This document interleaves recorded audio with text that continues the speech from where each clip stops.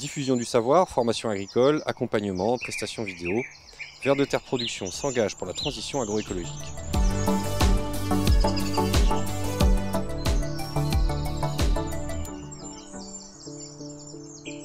Voilà, bonjour à tous. Donc, euh, je me présente, euh, Christian Abadi. Moi, je suis donc euh, agriculteur au sud-ouest de la France, au pied des Pyrénées, très exactement. Donc, sur une ferme de polyculture élevage, associée avec mon frère, sur des sols qui sont des boulbènes peu profondes, peu profondes, dans des terres avec peu d'argile, autour de, de 10%. Euh, très euh, très limoneuse. Euh, bon, vous allez voir quelques photos qui illustrent assez bien ce type de sol. Dans la rotation, c'est maïs soja, maïs blé, c'est-à-dire voilà avec une une proportion importante quand même de, de maïs, euh, euh, dont notamment euh, maïs utile pour l'élevage puisque euh, on, on, était en production laitière, mais on a fini là ces dernières années avec de l'engraissement de bovins, euh, dont SCV depuis euh, 2001. Et euh, euh, bon, j'ai connu donc euh, Lucien en conférence donc en 2001, mais c'est qu'à partir de 2013 voire 14 qu'on a vraiment qu'il est venu sur ma ferme et qu'on a vraiment, euh, disons, travailler ensemble sur euh, la mise en place, disons, notamment d'essais euh, euh, au jardin, notamment avec des, avec tout un tas de plantes qui, qui m'a fait connaître d'ailleurs.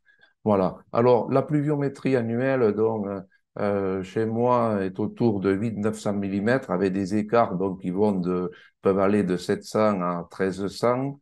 Euh, mais le gros souci, c'est surtout la répartition de cette pluviométrie qui euh, qui est vraiment pas bonne, qui peut être euh, des fois très importante, trop importante au moment des semis d'automne notamment, euh, et, euh, et, après on peut en manquer au printemps, voire l'été.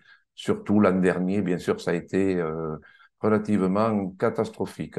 Voilà. Alors, pour illustrer un peu le, le sol, voilà, là, il y a, c'est un profil de sol dont c'est une tranchée qui avait été ouverte d'ailleurs, Bon, là, le, le trait noir mais, euh, euh, sépare, disons, les deux horizons, c'est-à-dire euh, la boulbène au-dessus, et dessous, c'est euh, du grep, c'est euh, c'est comme du béton, c'est c'est imperméable, l'eau l'eau descend pas, les racines non plus.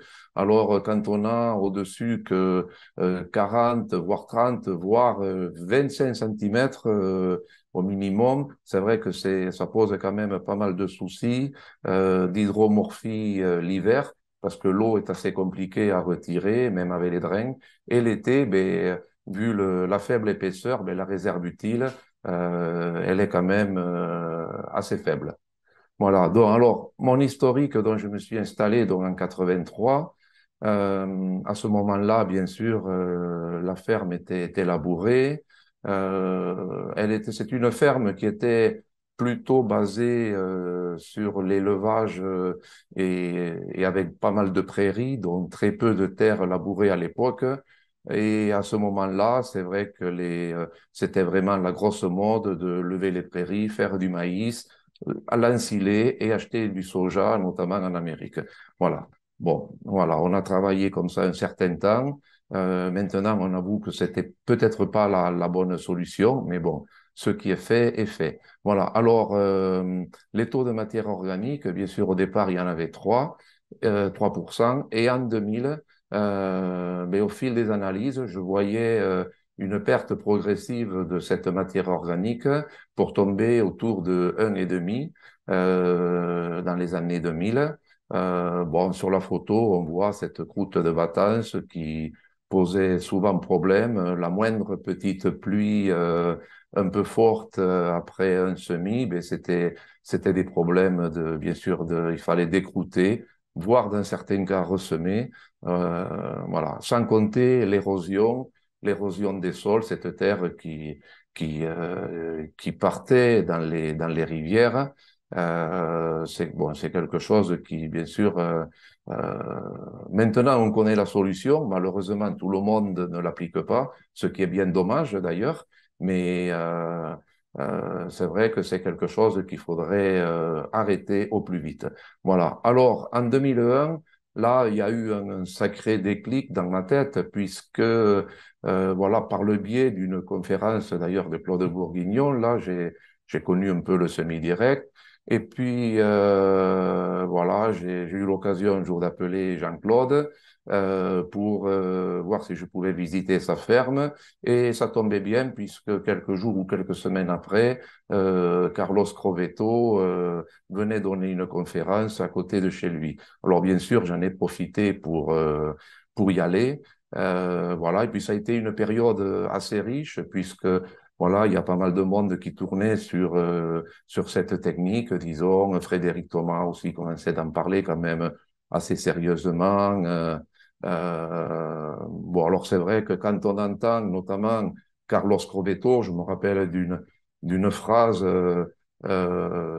que j'ai gardée en mémoire, qui dit tout simplement la nature nous montre le droit chemin et l'homme ne sait pas le prendre. Voilà, la nature, c'est la forêt, c'est la prairie le sol jamais travaillé, par contre toujours couvert. Voilà. Et bon, moi j'ai eu, c'est vrai, un, sacré déclic là, parce que quand, alors avec Lucien, bien sûr, là c'est le summum, parce que là on croit, on croit se trouver subitement dans un autre monde.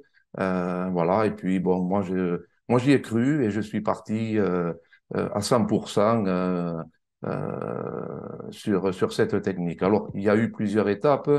Les trois premières années ont été un peu compliquées parce que personne pour, pour me suivre techniquement. Après, bon, j'ai adhéré à AgroDoc qui, euh, euh, qui m'a permis quand même de, de, de, rectifier un peu, un peu le tir sur, euh, sur euh, certains itinéraires. Bon, voilà, ça a permis de, de, de retrouver, disons, des, des résultats convenables. Euh, bon, je passe un peu toutes les différentes étapes. Euh, 2013, euh, il y a eu euh, l'acquisition de ce semoir pour semer du maïs à 40 décartements. C'est vrai que ça aussi, ça a été euh, une étape quand même assez intéressante, je trouve. voilà, bon, alors maintenant, je vais vous présenter un peu donc, la stratégie des, des euh, on va commencer par le double couvert. C'est vrai que Lucien, euh, avec la connaissance qu'il avait sur les plantes, c'était un appui, euh, un appui vraiment formidable. Et mon seul regret, même, c'est de pas en avoir fait plus. Voilà, parce que c'est vrai que ce que j'ai retenu vraiment de Lucien, c'est deux mots hyper importants. Bon, ça a été martelé un peu depuis depuis hier. C'est le mot matière organique, mais le deuxième mot, c'est oser. Voilà. Et euh, il faut oser justement pour pour euh, pour réussir, pour changer de, de pratique, euh, pour euh, déjà euh, stopper le travail du sol, passer un semi-direct, semer des couverts, semer éventuellement des, des, cultures dans des couvertes vivantes. C'est vrai qu'il faut oser. Il faut oser et, et bon, j'avoue qu'au départ, quand on n'est pas accompagné, c'est un peu compliqué. Voilà. Voilà. Alors, euh, la stratégie du double couvert, mais bien sûr, euh, bon, euh, ça peut commencer par un couvert estival, puisque entre une culture, une céréale récoltée dans le sud-ouest en juin, euh, entre le 15 et 20 juin, hein, puisque les récoltes s'avancent de plus en plus, euh, jusqu'au semis du, de la culture de printemps l'année suivante, eh on peut avoir 9 à 10 mois, donc c'est très long. Donc on peut, on peut avoir, on peut faire euh, euh deux couverts, euh, sachant que le couvert estival, c'est un couvert qui en, en, en deux, trois mois peut faire euh, une biomasse énorme avec des cultures, avec des plantes estivales. Voilà, le seul souci, c'est l'eau. Euh, c'est vrai que l'an dernier, notamment, ben, c'est la première fois en, en, plus de 20 ans que je n'ai pas pu semer pendant l'été. Voilà, euh, là c'était impossible. Bon, avec les conditions que nous avions, euh, même l'automne, c'était, ça a été un peu compliqué. Voilà. Alors là, c'est un exemple de, de mélange, mais bon, après chacun fait, chacun fait ses mélanges en fonction des, des, euh, des semences, des espèces qu'il y a sous la main. Hein. Voilà. Alors, Lucien m'avait justement euh, procuré ce, tourne, tournesol géant, qui est une plante, euh, je trouve, fabuleuse pour les couverts, bien sûr. Après, bon, il y a le, le sorgho. le radis chinois, il me l'avait aussi pas mal conseillé, justement, pour, pour décompacter ces sols qui sont plutôt hydromorphes. Euh, bon, voilà, là, j'avais eu l'occasion de mettre un peu de sarrasin. Après, l'amarante, c'est vrai que l'amarante aussi dans le jardin, c'est vrai qu'on avait, on avait testé pas mal de plantes, dont l'amarante. Vous allez en voir quelques-unes en photo d'ailleurs. Et le soja, c'est quand il me reste un peu de soja, j'aime bien mettre un peu de soja aussi, puisque euh, ben, dans le mélange, le, le peu qu'il produit, ben, c'est quand même de l'azote. Voilà, la graine n'est pas récoltée, donc euh, c'est quand même de l'azote. Et puis, comme il me disait souvent, c'est de l'azote organique en retard. Donc, c'est quand même, euh, c'est un peu le summum euh, euh de ce qu'on peut espérer. Alors ensuite, le couvert hivernal, donc qui précède un maïs. C'est un couvert euh, qui est euh, euh, surtout basé avec des légumineuses, une forte densité de légumineuses. Après, un peu de céréales. Bon, là, il se trouve, il y en avait, il y avait un peu de seigle, un peu de triticale, un peu d'avoine, mais voilà, je suis tout à fait d'accord aussi avec Jean-Claude pour dire que l'avoine, c'est quand même une des meilleures céréales pour dans les couverts. Voilà, le couvert euh, avant un soja, euh, voilà, Lucien me disait toujours, il faut, il faut 80% de graminées et 20% de légumineuses. Bon, après, on peut ajuster, bien sûr, et, mais c'est vrai que là, il faut privilégier quand même la, euh, la graminée. Euh, voilà, ça c'est une photo, donc, euh, une photo de couvert euh, pendant l'été où l'on voit donc, du, du sorgho, de, du tournesol, il y a un peu de févrole d'ailleurs là aussi à travers. Voilà. Alors là, c'est un mélange, là, c'était donc notamment dans les essais que l'on a menés, un mélange de maïs et tournesol géant. Alors le tournesol géant, bien sûr, population lucienne, hein, ce qu'il y a de marqué. ce qu'il y a de spectaculaire avec ce tournesol, c'est qu'il est tellement puissant, il concurrence le maïs. Alors c'est vrai que euh, un maïs qui est concurrencé par un tournesol, c'est quand même assez rare.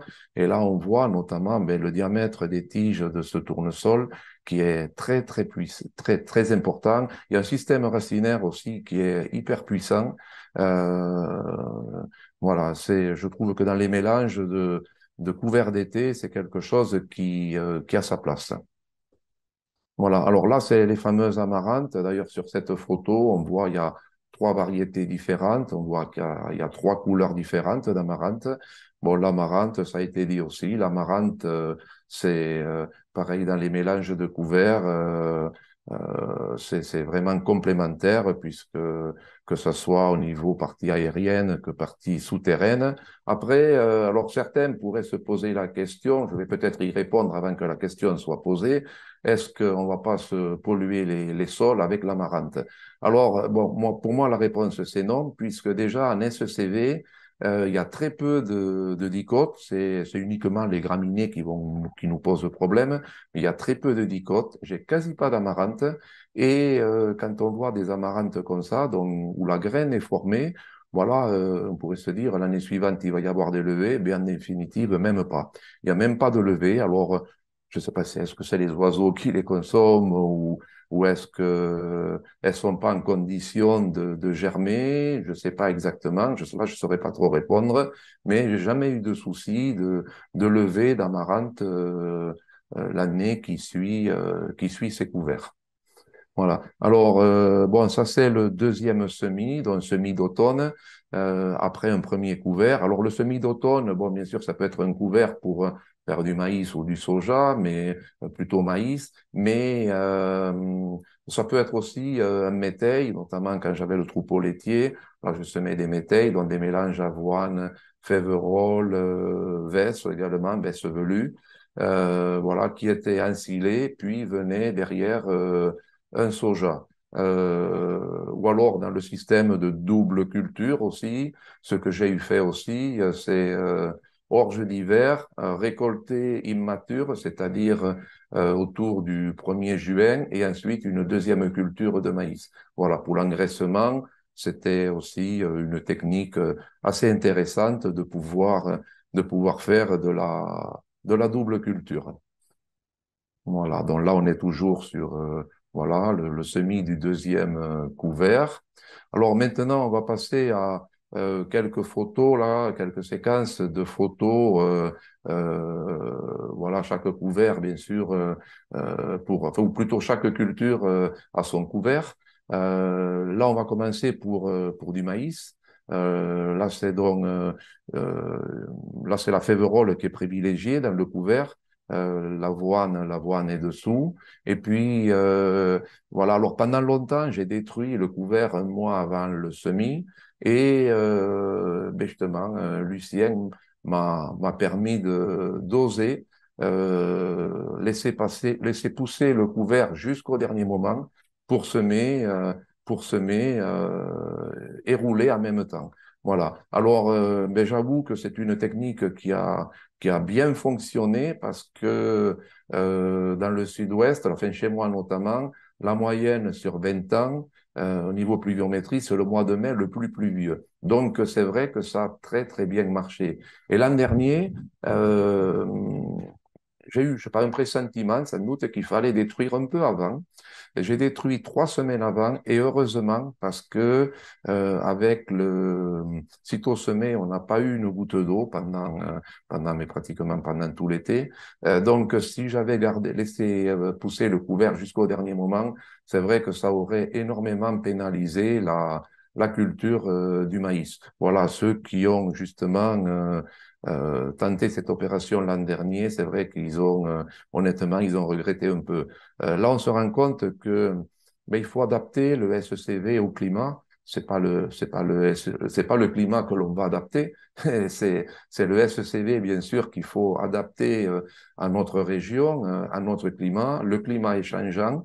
Donc, si on veut, euh, il faut, si on veut avoir un système euh, pérenne et un peu passe-partout, il faut pas non plus euh, forcément euh, prendre de, gros risques. Voilà. Alors après, ben, le maïs, ben, on s'aperçoit que même semé dans une couverture comme ça, ben, il arrive à lever. Là, on voit ce, ce pied de maïs passer à travers euh, une, une, feuille de féverole, donc il n'y a aucun souci. Euh, là, le maïs, donc voilà, quelques jours après, euh, quelques semaines après, pendant l'été, voilà, euh, alors là, c'est là c'est un couvert euh, qui était destiné à faire du soja. Voilà, donc euh, c'est pour ça que vous voyez une, une, couverture importante de graminées. Et puis bon, au dernier moment, voilà, la parcelle a été semée plutôt en maïs.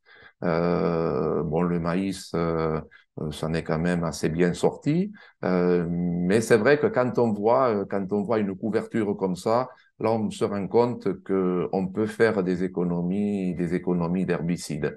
Voilà, quand on a vraiment une, une couverture, surtout avec des plantes comme des graminées qui tiennent bien la, euh, la, la, fermeture du sol. La légumineuse, c'est un peu différent puisque la légumineuse euh, euh, ben, se décompose, se dégrade beaucoup plus vite. Donc, euh, et puis sûrement aussi amène davantage d'azote au sol et euh, les graminées ont tendance à lever beaucoup plus facilement. Voilà, là c'est un, un, passage d'enrouleur. Voilà, et puis on arrive à la récolte. Alors là, la récolte du maïs, là c'est maïs épi ensilé. Là c'était notamment pour les animaux, pour l'engraissement. alors moi j'aimais bien cette technique, notamment pour le sol puisque euh, là, l'ensileuse, l'ensileuse est équipée d'un cueilleur de batteuse dont il n'y a que les épis qui passent à l'ensileuse, tout le restant, tiges, feuilles, reste au sol. Voilà, donc on restitue pas mal de carbone, euh, pas mal de carbone au sol. Voilà, donc maintenant on va passer pour euh, le couvert d'hiver, donc pour soja. Donc là, on est plutôt sur sur une sur de la graminée qui qui domine. Voilà, euh, là c'était d'ailleurs du triticale. Là c'était la première fois d'ailleurs que je semais du soja dans un couvert, euh, dans un couvert comme ça. Alors c'est vrai que là, je, honnêtement, euh, bon, je balisais un tout petit peu parce que voilà, je, je, voyais que je détruisais quand même une belle parcelle de triticale et je me disais tout simplement, il faut pas que je me loupe quoi, parce que c'est sûr que sinon ça va rigoler autour. Voilà. Et heureusement que Lucien, tous les jours au téléphone, bon, était là pour, euh, d'ailleurs, pour remonter, je dis pas pour remonter le moral, mais pour, euh, pour sécuriser, quoi, un peu. Voilà. Bon, euh, là, c'est un peu la même photo, mais sur un autre couvert. Voilà. Alors on voit cette épaisseur au sol qui, euh, alors justement là on peut on peut se poser la question même est-ce qu'il faut appliquer du glyphosate ou pas? Euh, Quand le couvert est assez avancé, c'est vrai qu'on pourrait prendre le risque de faire de faire une impasse. Mais le problème c'est que pour faire ça, il faut semer quand même assez tard, c'est-à-dire euh, euh il faudrait semer euh, au 15 15-20 mai pour que la graminée soit épiée et, euh, et là, c'est vrai que ça commence à faire un peu tard, donc voilà, c'est pas évident. Hein, de, il faut faire un compromis, quoi. Bon, là, c'est la levée du, du soja. Malgré la couverture, eh on s'aperçoit que euh, le soja arrive, arrive à passer à travers sans problème. Par contre, le, le sol est, est hyper couvert et euh, avec ce, avec ce paillage. Et euh, ce que j'ai pu également constater, c'est que euh, pour retenir l'eau, c'est vraiment génial parce qu'après une, après une pluie ou une irrigation, euh, la terre garde la fraîcheur dessous. Bon, ça se comprend, mais c'est c'est le rôle du paillage, c'est ce que font les jardiniers dans tous leurs jardins. Euh, ils paillent justement pour euh, pour protéger le, le sol. Euh, voilà, là c'est le le soja donc quelques quelques jours après. Euh, alors, c'est euh, voilà, là c'est une photo intéressante. Euh, je vais m'y attarder un tout petit peu. Euh, le couvert, c'est deux parcelles différentes. Le couvert était semé le même jour. Euh, le soja été semé également le même jour. La seule différence, c'est la date de destruction. Voilà, en haut à droite, le couvert a été détruit un mois avant le semis et l'autre parcelle, ben, ça a été détruit dans le jour du semis. Voilà, ce qui veut dire que euh, sur la parcelle du, du haut, euh, mais au moment du semis, il y avait déjà moins de couverture puisque euh, le couvert avait déjà produit moins de biomasse puisqu'il a été stoppé un mois avant et cette biomasse commençait à se dégrader, dont le sol commençait à s'ouvrir un peu. Et euh, par contre, en bas, euh, euh, le sol était vraiment à l'ombre ce qui a empêché la levée des, des adventices, puisque la parcelle en bas n'a même pas reçu d'antidicote euh, euh, comme herbicide. Voilà. Donc là, c'est euh, en fin d'été, le soja. Là, c'était juste, je ne sais pas si vous allez le voir, mais pour montrer, là, ces points blancs que l'on voit sur les pailles, mais ce sont des, des champignons qui, qui attaquent tranquillement les, les pailles. Voilà, donc là, on s'approche de la récolte.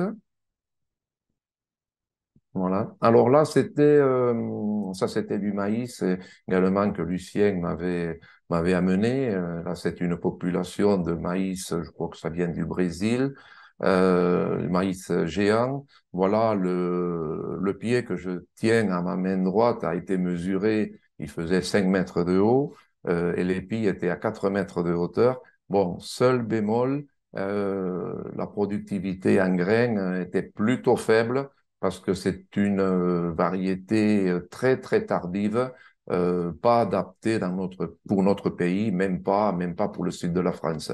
Voilà. Euh, en Espagne, peut-être que ça passerait. Bon, c'est vrai que c'est dommage parce que c'est un maïs qui qui est vraiment beau, qui fait une biomasse énorme, sauf que ben il faut quand même récolter des quintaux quoi. Voilà. Là, c'est ben, le tournesol géant, euh, voilà, qui avait été semé d'ailleurs en même temps que la, que la parcelle de, maïs. Euh, voilà, on peut voir un peu le, la taille de, de, du tournesol. Voilà. Alors là, je vais euh, m'attarder également quelques petites minutes pour vous parler là du euh, euh de cette parcelle là que l'INRAE, disons, a, a suivi pendant quelques années. Euh, pour comparer les deux systèmes, euh, c'est-à-dire SCV et, et euh, Labour chez un voisin sur l'autre côté. Voilà. Bon, c'est un projet, c'était c'était notamment le projet bagage financé par l'agence de l'eau à Dour-Garonne. Et c'était, disons, le but de ce projet, c'était de vraiment, euh, vraiment quantifier les aspects, notamment agronomiques, des, des, des deux systèmes. Alors, voilà, je vais euh, euh, juste vous parler de, de, deux résultats, notamment un test de ruissellement qui a été fait euh, avec une pluviométrie, bien sûr, artificielle de 200 mm Et on voit des différences quand même relativement importantes, c'est-à-dire que euh, sur un mètre carré, euh, le ruissellement, ben, il a été de 23% euh, en système labour, 5% en SCV. Par contre, si on le ramène, si on regarde vraiment la perte de terre nette, sur le labour, il y avait 12 grammes par litre. Sur le SCV, il y avait 0,3 grammes par litre. Mais comme il y avait beaucoup moins de, d'eau euh, qui a ruisselé, si on ramène la perte réelle de terre au mètre carré, 552 grammes en labour contre 3 grammes en SCV. Donc en gros, 184 fois moins en SCV. Voilà. Euh, donc ça c'est quand même assez assez parlant. Euh, voilà. Ensuite, euh, euh, voilà, le carbone, voilà, ils ont pu, euh, euh, avec les analyses de sol sur 60 cm de, de profondeur, ils ont pu ben, constater qu'en 20 ans, il y a eu 25 tonnes de, de carbone séquestré, dont une tonne 25 à l'hectare et par an. voilà, donc sur la ferme, ce qui représente à peu près 2500 tonnes de, de carbone injecté dans le sol. Voilà, sur une, sur une centaine, sur une centaine d'hectares. Alors, les améliorations à apporter sur la ferme par le SCV, euh, c'est bien sûr la préservation du sol, euh, la fertilité accrue, donc notamment par, le, par cette matière organique. Euh, ben D'abord, on a stoppé la perte et, euh, la perte qu'on a qu'on a eue pendant longtemps, bien sûr, pour euh, pour recréer de la matière organique en stoppant le travail du sol, mais également en, en privilégiant un maximum de biomasse laissée sur le sol. Ensuite, ben, il y a eu une baisse euh, assez importante du poste de mécanisation, diminution progressive des intrants. Bon, je dis bien euh, progressive parce que c'est vrai que il faut être prudent au départ. Euh, il faut mettre toutes les chances du bon côté. Donc, si on veut, si on baisse trop vite au départ, euh, le système aura du mal, du mal à se mettre en place. Ensuite, la réduction de l'irrigation, ça je me rappelle de, de, de Jean-Claude qui m'avait dit, tu verras que tu pourras facilement réduire de 30%. Et en effet, dès la première année, euh, là j'ai vu une, une réduction, euh, possibilité de réduire de 30% par rapport à ce, qui, ce que je faisais auparavant. Et ensuite, euh, voilà une productivité, ben, d'abord euh, stabiliser, puis améliorer, puisque c'est un peu ce que je m'étais dit au départ. Euh, si on peut stopper cette baisse de fertilité, voire euh, en regagner, ben un jour ou l'autre, on devrait pouvoir euh, améliorer les rendements tout en diminuant les intrants. Voilà. Christian, oui? Il y a une question. Euh, ah, bah, alors, je te laisse finir. Ça se termine là, non? Comment? Tu termines là, non? Oui, oui, ça va être bientôt terminé. Oui, voilà. Alors là, je vais vous lire maintenant euh, un courrier là d'hommage à Lucien de, de la part de Sandrine Gallon et Alain Coudrier. Voilà. En 2004, euh, nous découvrons les SCV semi-direct sous couverture végétale avec Jean-Claude Quillet et Hubert Charpentier, qui nous orientent vers Lucien Segui, leur mentor. Euh, on se souvient de son premier coup de fil du Brésil à minuit euh, en mars 2006. Euh, voilà, nous voulions développer le riz pluvial en Camargue après nos deux années de passage au SCV.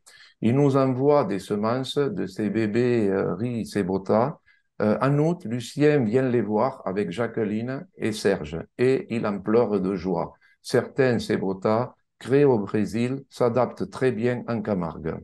Euh, commence alors la plus belle aventure humaine et professionnelle que l'on puisse rêver. Il ne, nous, il ne nous lâchera plus, à tel point qu'il nous embarque avec lui au Canada à la rencontre de notre de ses petits, Louis Pérus, moment mémorable.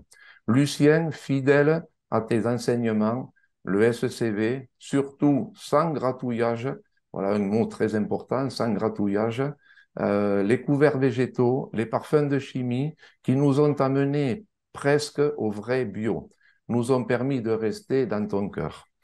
Euh, tu nous disais toujours d'interroger la nature et de s'en inspirer. Avec tes conseils judicieux, même les mauvaises herbes sont devenues nos alliés. Euh, dans nos sols bien particuliers de Camargue, notre taux de matière organique est passé en 20 ans de 1,5 à 4 euh, de matière organique. Donc, on a diminué la chimie de 73%, sans parler des économies de temps, de gazole ou encore de mécanisation. En 2022, grâce à ces pratiques, la ferme arrive à stocker 2 tonnes 26 de carbone. Lucien, tu avais 20 ans d'avance, tu nous as laissé un bel héritage. Si tout le monde avait pu t'écouter. Merci pour tout. Voilà, donc ça c'est un message de Sandrine et d'Alain. Ensuite, il y a un autre message aussi de, que je vais vous lire aussi rapidement d'Aubin. Euh, quand vous ne savez pas, posez la question à la nature, elle vous répondra. Adoptez une approche systémique globale afin d'identifier les contraintes les plus limitantes. Évoluez vite vers un système résilient, chimie minimale, sans aucun travail, travail du sol. Faites monter rapidement vers le haut les qualités nutritionnelles et organoleptiques des productions. Introduisez des mix de plantes de renfort ultra performants. Desséchez les biomasses, cousez le sol par les racines denses, protégez par un épais mulch. Nourrissez le bouillon de culture sous vos pieds, montez les matrices pérennes de systèmes de culture pour, avec et chez les agriculteurs. Travaillez avec les gens de confiance. Autant d'expressions et de francs-parler que Lucien pouvait nous marteler par mail, la nuit par téléphone ou de vive voix autour d'une parcelle, d'une excursion en voiture ou d'un repas à angoisse avec Jacqueline. Personne n'a été indifférent à son savoir, son expertise, sa détermination, mais aussi à sa gentillesse, sa générosité, sa simplicité. Modestement, un bel hommage réside dans la connaissance et la diffusion des SCV pour perturber son œuvre. Un grand vide professionnel et émotionnel. Abracos, Aubin Lafont. Voilà. Et moi, je vais juste aussi terminer. Voilà. Un grand merci à Lucien pour ses précieux appuis et à Jacqueline pour sa gentillesse. Eh ben, c'est très, très bien. Merci, euh, Christian. C'était euh, même un petit peu émouvant.